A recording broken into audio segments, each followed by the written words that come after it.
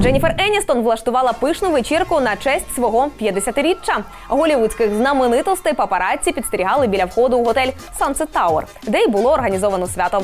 Серед перших на день народження прибуло подружжя Джордж і Амаль Клуні у черговий раз, демонструючи неправдивість чуток про їхнє розлучення. Вони демонстративно весь час були поруч та трималися за руки.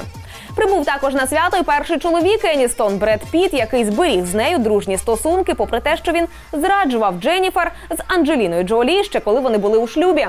Піт постарався прослизнути повз пресу непомітно, тому фотографам вдалося зняти тільки його потилицю.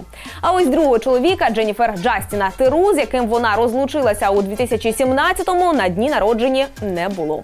Приїхали також Сандра Булок, Гвінет Пелтроу, Кортні Кокс, Демі Мур та Різ Візерспун. З останньою, до речі, стався конфуз.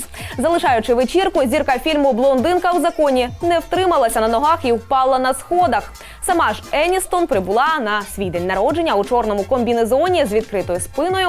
І, хоча зараз зірка серіалу Друзі не перебуває ні з ким у романтичних стосунках, це не завадило їй виглядати щасливою і веселитися з друзями.